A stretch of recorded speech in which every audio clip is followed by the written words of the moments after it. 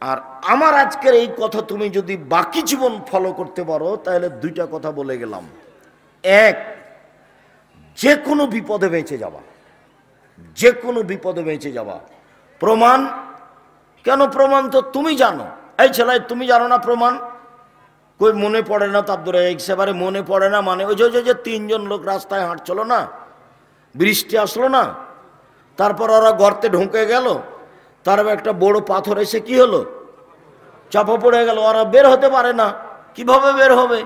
তো একজন বলছে, আল্লাহ আমার বাপ মাকে খুব ভালোবাসি। এই তুমি একটু পাথরটা সরিয়ে দাও। বলে, দিলাম। তো একজন বলছে, আল্লাহ, একটা লোককে আমি কাজের জন্য নিয়েছিলাম। ও অর্ধেক দিন কাজ করে বাড়ি চলে যাবে। টাকা দিলাম, নিল না। রাগ করে চলে গেল। তোর টাকাকে আমি বাড়ালাম। একদিন এসে বলছে, আমার টাকা দেন। আমি বললাম, গরু, ছাগল নিয়ে যাও। আমাকে বলছে, মজাক করবেন না, অর্ধেক দিনের টাকা দেন। আমি বললাম, মজাক করিনি, তুমি সব নিয়ে যাও। গরু, ছাগল সব নিয়ে চলে গেল। তোমাকে খুশি করার জন্য এই কাজ করেছি, পাথরটা সরিয়ে দাও। দিলাম।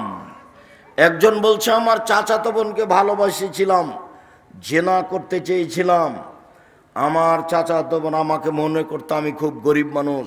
আমাকে বলেছিল একশোটা স্বর্ণ মুদ্রা দিতে পারলে আমি জেনায় রাজি থাকব। হাড় ভাঙা পরিশ্রম করে একশোটা স্বর্ণ জমা করলাম মুদ্রা। দিলাম, জেনা করার জন্য বসেছি। আমার চাচাতো বোন আমাকে বলল, দেখ, তুই আমাকে অসতী প্রমাণ করিস না। এই কথা বলতে আমি অন্যায় করিনি, উঠে গেছি। তুমি পাথরটা সরিয়ে দাও। আল্লাহ বলছেন, সরিয়ে দিলাম। হাদিস তো বোখারি, মুসলিম। এই যে দেখো তুমি আমার আর জীবনে কোনোদিন কথা বলিও না মেয়ের সাথে। মেয়ের ফাঁদ, কত বড় ফাঁদ তুমি কেন বুঝো না। জুলাইখা বলছে, একটু গরম পানি দেন। জুলাইখা বলছে ইসব আলাইসাল্লাম বলছেন যে, জুলাইখা সব দরজা বন্ধ করে দিল। সব দরজা বন্ধ করে আমাকে বলছে, হাই তালাক, তুমি আমার সাথে জেনাই লিপ্ত হও। যেমন জুলাইখা বলেছে, তুমি আমার সাথে জেনাই লিপ্ত হও, তেমন আমি বললাম মাজ আল্লাহ আল্লাহ তুমি আমাকে বাঁচাও, তোমার কাছে আমি আশ্রয় নিচ্ছি। বলে যে তিনি দিলেন দৌড়, দরজা খুলে তিনি বের হননি, দরজা এমনি সব খুলে গেছে। সব বন্ধ ছিল। আগে আগে বের হয়েছেন ইসব পিছে পিছে বের হয়েছে জুলাইখা। সামনে মুখে ছিল জুলাইখার স্বামী, তিনজন এক জায়গায়। চট করে জুলাইখার স্বামী বলল জুলাইখা বলল, "এ- এ দেখেন, এই বদ ছেলে বাড়িতে রেখেছেন? দেখছেন, এই ছেলে আপনার স্ত্রীর সাথে অন্যায় করতে চায়। শোনেন, এর কি শাস্তি দিবেন? আরে আপনি কি শাস্তি দেবেন? আমি জুলাইখা বলছি, এ তো বাদশার স্ত্রী। আমি জুলাইখা বলছি, একে যথাযথ পিটন দিতে হবে, নইলে জেলখানায় বন্দি করতে হবে। বারো বছর জেল হলো। কতদিন? বারো বছর। বারো বছর পরে সরকারিভাবে লোক এসে বলছে এইসব আপনাকে জেল থেকে বের হতে বলা হয়েছে, সরকার ডেকে পাঠিয়েছে। এইসব বলছেন, যাও সরকারকে বলো, যতদিন পর্যন্ত জুলাইখা খোলা মাঠে ঘোষণা না দিবে, আমি জুলাইখা অন্যায় করেছি এইসব অন্যায় করেনি, এই ঘোষণার পূর্ব পর্যন্ত আমি এইসব জেল থেকে বের হব না। কথা বুঝে গেল কি? জুলাইখা জাতির সামনে দাঁড়িয়ে বলল, আমি অন্যায় করেছি, এইসব করেনি। তখন ইসব আলাইসাল্লাম জেল থেকে বের হলেন। আর তোমাকে আমি বলছি এই যে দেখো নারী কাকে বলে? নারী ছত্রিশ কল্লা বুঝতে হয়, আমার মা বলতো, নারী তিন জানের বড়ি, নারী বিপজ্জনক, বউ বিপজ্জনক বস্তু হতে পারে। বইয়ের নামে অ্যাকাউন্ট খুলিও না, বোকা ছেলে, বাপের নামে খুলিও। বাপের সাথে যতই শত্রুতা থাকে, খালি দিন রাত মারামারি বাপের সাথে। জমি ভাগ করে দে, তোর বাড়িতে থাকব না, এই সেই নানান কথা। ধাকুড়াল সম্পর্ক বাপের সাথে, তবু অ্যাকাউন্ট কার নামে খুলতে হবে?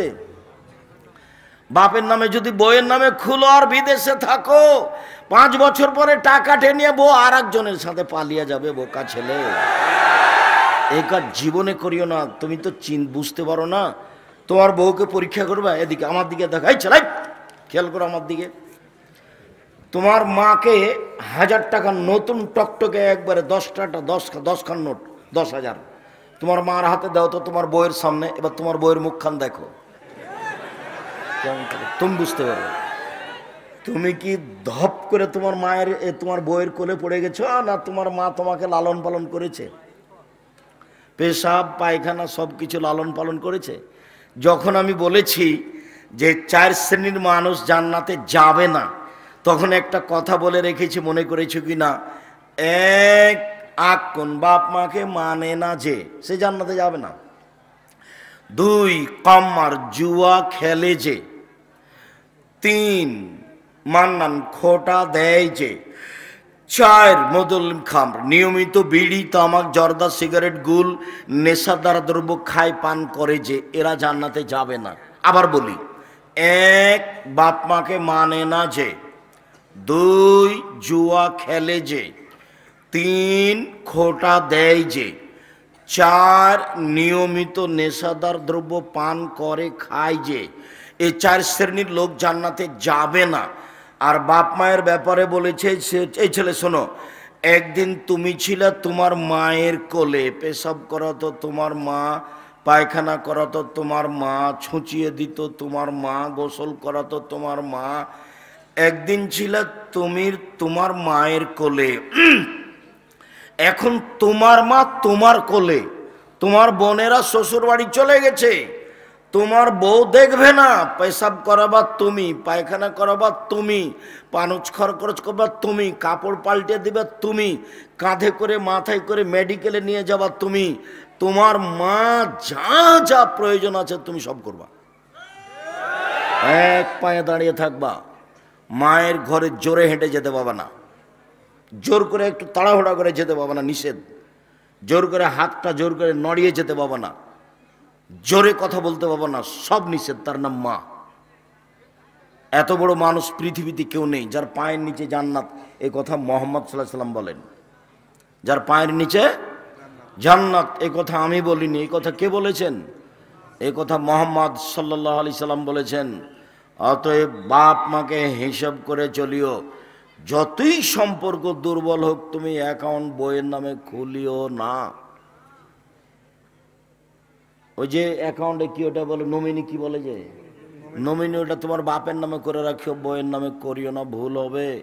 দেখো, ভুল হবে, দেখো, ভুল হবে, ও কিন্তু চলে যাবে এক সময় সবাই চলে যাবে, এ কথা নয়। তবে যাবে স্বাভাবিক, এ কথাই ঠিক। আমি মহিলাদের একচাটিয়া দোষ দিনই এমনও বৌমা থাকতে পারে যে স্বামীকে বলবে, তুমি আব্বার হাতে কিছু টাকা পয়সা দেও না কেন? তুমি যখনই বাড়িতে ঢুকবে, তখন তুমি আম্মার ঘরে আগে যাবা। আম্মার ঘরে গিয়ে আমার সাথে কথা বলে তুমি আমার কাছে আসবা। এরকম বৌমা হতে পারে না? আছে। আমি সম্পূর্ণ না করিনি। এটাই উচিত হবে। যখনই তুমি বাড়িতে ঢুকেছ, আগে বউয়ের কাছে গেছো, তখন বউ বলছে, আপনি এরকম ভুল করেন কেন? বাড়িতে সালাম দিয়ে ঢোক, আগে কার কাছে যাবেন? মা যে ঘর আছে, সেখানে যাবেন। সেখানে কথা বলবেন। আমার সাথে কথা বলে, আব্বার সাথে কথা বলে আপনি এখানে আসবেন। আপনি এইভাবে সরাসরি আমার কাছে আসেন কেন? এইরকম বলার মতো মহিলা নেই? আছে। আমি টোটালে না করিনি। আয়েশা তো রাজিয়ালতনের মহিলা। খাদিজা রাজি আল্লাহ তালা আনহা তো মহিলা। অতএব মহিলা আজও ভালো হতে পারে। তবে স্বাভাবিকভাবে সাধারণত হয় না মর্মে। রসুল সাল্লাম এত কিছু বলেছেন। উপস্থিত বৈঠকের মুসলিম বোন, থামেন। আপনার আগে কথা শেষ করি, আমাদের এখানে কথা লম্বা হয়ে গেল। এম এ থামো। আল্লাহ নবী বলছেন নবী ফিল জান্না নবীগণ জান্নাতে যাবেন। শহীদ ফিল জান্না শহীদেরা জান্নাতে যাবে। অসিদ্দিক ফিল জান্না সত্যবাদীরা জান্নাতে যাবে। নিশাও মিনাহালিল জান্না মহিলারা জান্নাতে যাবে। এই কথা বলে আল্লাহ রসুল থামলেন না। যখনই বললেন, মহিলারা জান্নাতে যাবে, তখন আর কথা লাগিয়ে দিলেন। কোন মহিলা? যেই মহিলা কোনো কারণে স্বামী যদি রাগ করে, তাহলে স্বামীর হাত খান ধরে বলে, যতক্ষণ পর্যন্ত তুমি আমার ওপরে খুশি না হবে, ততক্ষণ পর্যন্ত কোনো কিছু খাব না। এই নারী জান্নাতি নারী। আমি মনে হয় বুঝাতে পারলাম না ভালোভাবে। আবার বলি। এই বাচ্চা, এই! ওই বাচ্চা উঠে ও তো আর কথা বুঝে না, আপনাকে তো তাকে ধরে রাখতে হবে। একটু আবার দেখো তো। এক নবীগণ জান্নাতে যাবেন। দুই, শহীদেরা জান্নাতে যাবে। তিন সত্যবাদীরা জান্নাতে যাবে। চার মহিলারা জান্নাতে যাবে।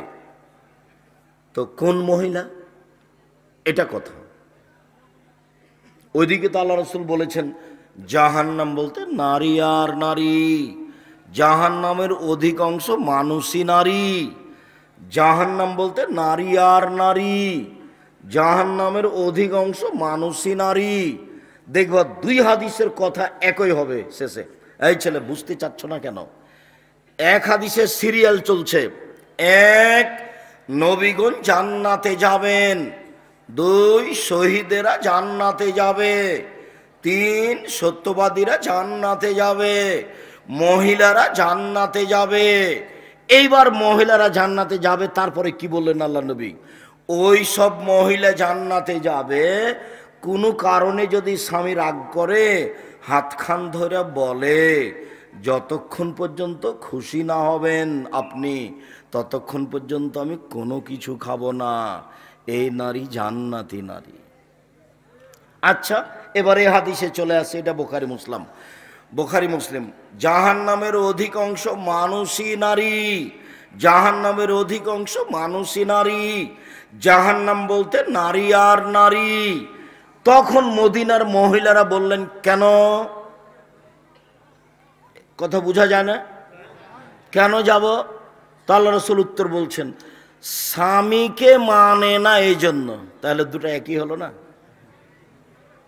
ওটারও ফলাফল যা, এ হাদিসেরও ফলাফল তাই। যখন তিনি বলতে লাগলেন যে মহিলারা জাহান নামে যাবে, তখন কারা আপত্তি করল? মদিনার মহিলারা কি বলল? কেন যাব? তখন উত্তর আল্লাহ রসুল কি বললেন? স্বামীকে মানে এই জন্য এইবার এই কথা শেষ করে দিই। চারটা কাজ করলে মহিলারা জান্নাতে যাবে। এক পাঁচক্ত সলাৎ।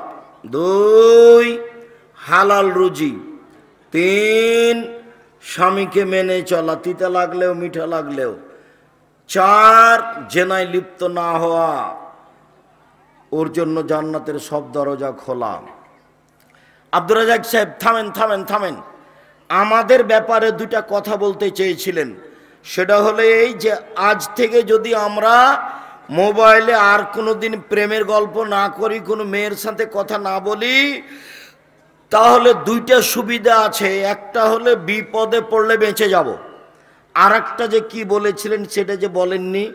আর একটা হলো এই যে তুমি তোমার জন্য জান্নাতুল মাওয়া ঘোষণা আছে। আরও দুইটা, একটা নয়, তিনটে, মোট তিনটে। এক, তোমার জন্য জান্নাতুল মাওয়া ঘোষণা কি? অনাহান হাওয়া, ফাইনাল জান্নাত হিয়াল মাওয়া। যে ব্যক্তি নিজেকে অশ্লীল কাজ থেকে থামিয়ে দিল, আমি আল্লাহ তাকে জান্নাতুল মাওয়া দিয়ে দিলাম। তিন, কেউ যদি বলতে পারে, আমি জেনাকে ভয় করি তাহলে আমি তাকে বিচারের মাঠে বিশেষ ছায়াতলে রেখে দেব। তাহলে তুমি মোবাইলে প্রেমের গল্প বন্ধ করতে পারলে তিনটে সুবিধে। এক, মনে থাকবে না। যে কোনো বিপদ থেকে বেঁচে যাওয়া যা জাকাল্লা খায় দুই, জান্নাতুল মাওয়া পাওয়া যাবে। তিন ছায়া বিচারের মাঠে বিশেষ ছায়ার নিচে থাকা যাবে। সব হাদিসগুলি বোখারি, মুসলিম। সব হাদিসগুলি বোখারি, মুসলিম।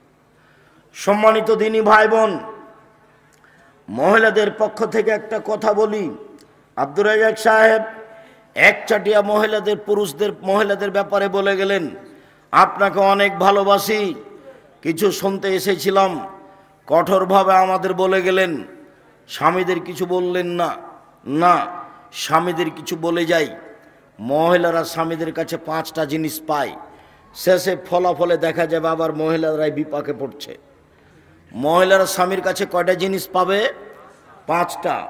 এক, যে মানের খাবেন সে মানের স্ত্রীকে খাওয়াবেন। দুই, যে মানের কাপড় পরবেন সে মানের স্ত্রীকে পরাবেন। তিন অলাতু কাব্যে কখনো স্ত্রীকে কটু কথা বলবেন না। ভুলেও বলবেন না, তোমার ঠোঁটটা মোটা। একবার ঠোঁট মোটা বললে দশ বছর তোমাকে ভালোবাসবে না। বলেও বলবেন না রংটা তোমার কালো। আল্লাহর নবীর না করে দিয়েছেন, জিন্দেগিতে কোনোদিন তার সামনে কটু কথা বলো না। ওকে আদর করতে হয়, ওকে ঘেরে রাখতে হয়। ও হচ্ছে ঘেরে রাখা বস্তু, আল্লাহ রসুল বলছেন, আলমারা তো আওরা। মহিলা হচ্ছে ঢেকে রাখা জিনিস। ওকে ঢেকে রাখতে হয়, ওকে ঘেরে রাখতে হয়। ওকে ঢেকে রাখতে হয়, ওকে আদর করতে হয়।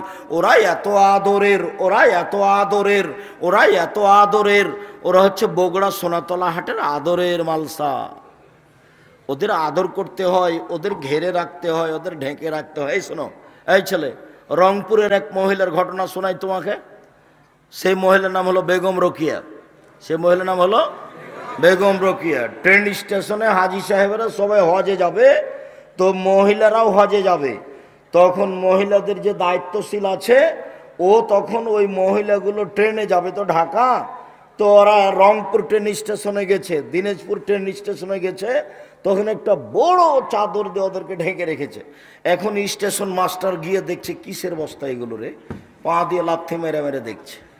তার মানে ও পর্দার নিন্দা করছে। বুঝতে পারোনি?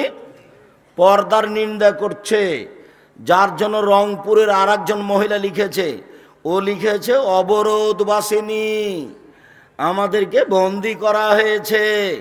তখন রংপুর থেকে আর একজন মহিলা লিখছে, কেন হব অবরোধ বাসিনী আমরা অবরোধ বাসিনী নই, আমরা হজ করতে যেতে পারি, আমরা আত্মীয় স্বজনের বাড়ি যেতে পারি, আমরা পড়াশোনা করতে যেতে পারি, আমরা যুদ্ধে যেতে পারি।